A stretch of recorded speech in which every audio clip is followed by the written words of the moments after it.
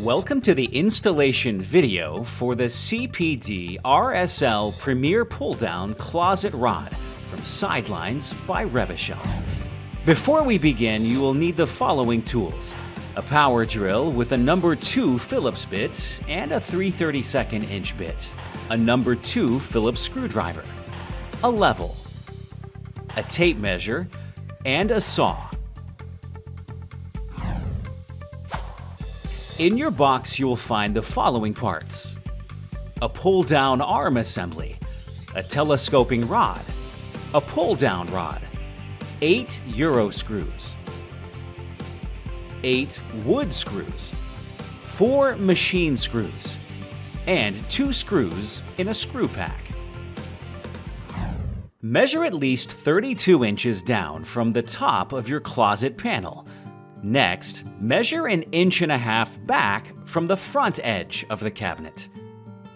There is a slight range in height that is allowable beyond 32 inches. If the frame aligns with the system holes in the partition, attach with the four Euro screws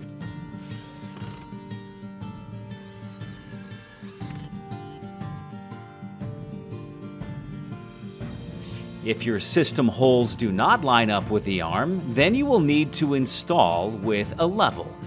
Place your arm assembly at the correct height and width location and ensure it is level. Mark your four holes with a pencil. Pre-drill the holes using your 3 32nd inch bit. Secure using the wood screws.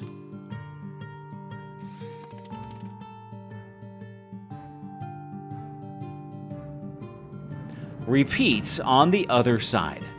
For the unit to function properly, both arms need to be the exact same measurements. Next, measure the distance between the pull-down arm assemblies. Use a saw and cut the telescoping rod to the proper length. Connect to the pull-down arm assembly. Once in place, attach using the four machine screws.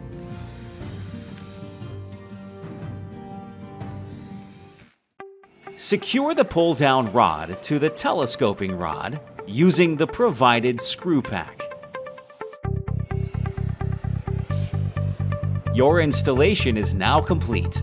Enjoy your product for years to come.